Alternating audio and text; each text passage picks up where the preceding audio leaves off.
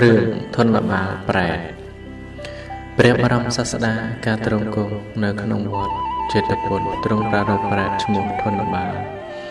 ទើបត្រាស់ព្រះធម្មទេសនានេះមានពាក្យផ្ដាំថានគោទុពុនរូបាសិដូច្នេះជាដាបានលើកថាការប្រពុតមិនតន់កាលឡើងក្នុងនគរអេរកច្ចៈបណ្ណារដ្ឋ មានសិទ្ធិម្នាក់ឈ្មោះធនបាល ជាអ្នកមិនមានសទ្ធាមិនមានសេចក្តីជ្រះថ្លា ជាមនុស្សកំណាញ់ជានតិកៈតថេបុគ្គលកិរិយារបស់គាត់ប្រកាសតាមព្រះបាលីនោះឯងគាត់ធ្វើកាលកិរិយាហើយកើនក្នុងកំណត់ប្រាតក្នុងផ្លូវកន្តរៈដោយខ្សាច់ប្រែតនោះមានសរីរៈប្រមាណប៉ុនដើមថ្នោតមានស្បែករឿងក្រត់ក្រៀតមានសក់សំពងគូខ្លាច មានពណ៌សម្បុរគួរពើមរអាមានរូបអាក្រក់ពន់ពេកឃើញហើយគួរតក់ស្លន់ប្រែតនោះមិនដែលបានក្របបាយឬដំណក់ទឹកអស់55ឆ្នាំមានកបបោមាត់និងអណ្ដាតស្ងួនត្រូវស្ដីស្រេកឃ្លានគ្រប់សង្កត់ត្រាច់ឆ្លេឆ្លាទៅក្នុងទិសផ្សេងផ្សេង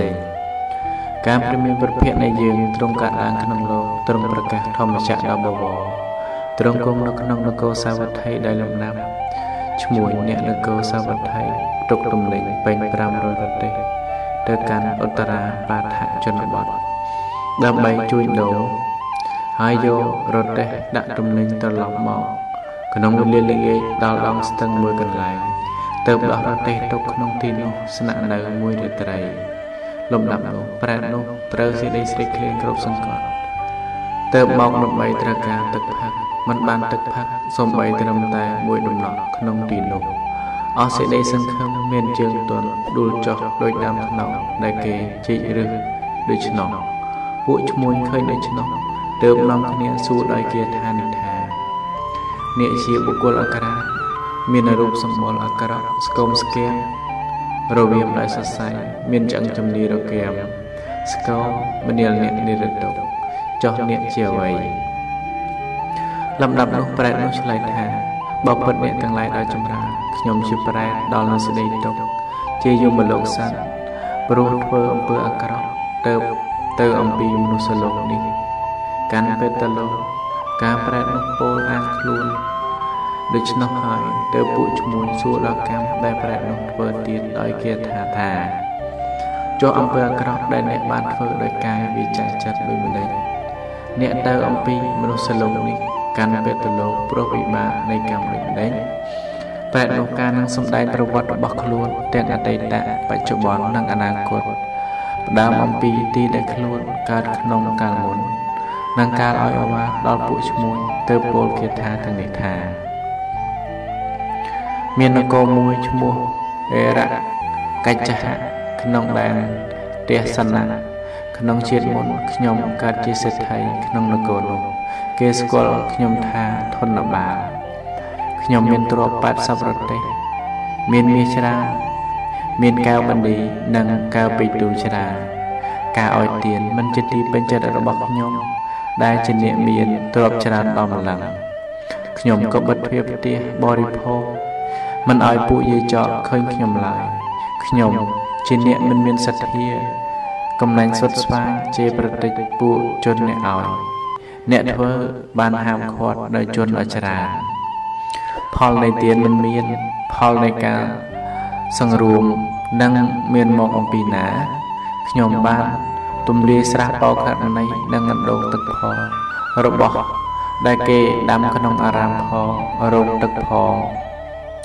នៅស្ពានក្នុងទីទៅបានដោយលំបាកផង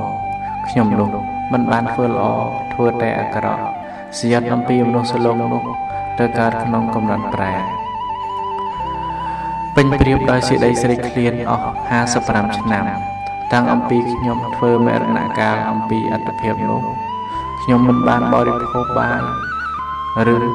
ទឹកផឹកឡើយសេចក្តីសំចៃមិនឲ្យទានណា នោះជាសេចក្តីវិនិច្ឆ័យសេចក្តីវិនិច្ឆ័យណា នោះជាសេចក្តីសំចៃបានឮថា ប្រែតទាំងឡាយរមែងដឹងថាសេចក្តីសំចៃនោះជាសេចក្តីវិនិច្ឆ័យអំពីជាតិមុនខ្ញុំបានសំចៃមិនបានឲ្យទ្រពទាំងឡាយដោយច្រើន